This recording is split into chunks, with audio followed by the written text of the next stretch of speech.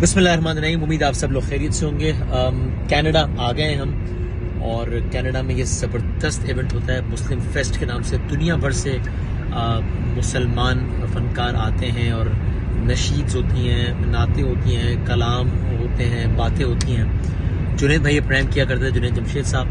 और उनके बाद से मुझे ये एजाज़ मिलता है पाकिस्तान को रिप्रेजेंट करने का मुस्लिम फेस्ट में।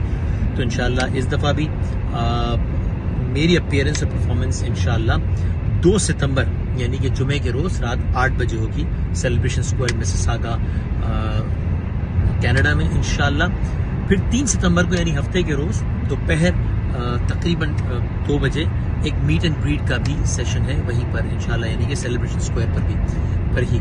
तो जुमे को इनशाला वहाँ पर अपियरेंस है और हफ़्ते को आप सबसे फिर बाकायदा मुलाकात है। जुमे को मुलाकात होगी, नहीं, हफ़्ते को बाकायदा सेशन है मीट एंड ग्रीट का है। हम सब मिल के ये दुआ भी करेंगे कि अल्लाह ताला पाकिस्तान में जो हमारे हम वतन हैं, जो भाई बहनें हैं, जो बड़े मुश्किल में सैलाब से इस वक्त मुतासर हैं, उनके लिए दुआ भी करेंगे और अमली इकदाम भी करेंगे इन तो आप सब लोगों से होती है मुलाकात उधर इन